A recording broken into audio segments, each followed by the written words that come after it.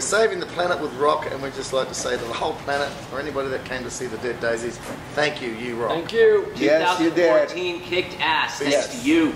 Yes, and we'll, we're looking forward to 2015. Make sure you come out and check us out. Go to thedeaddaisies.com. All the info is there. And you have yourself a safe, great Christmas, too. Thank you. Cool. Bye.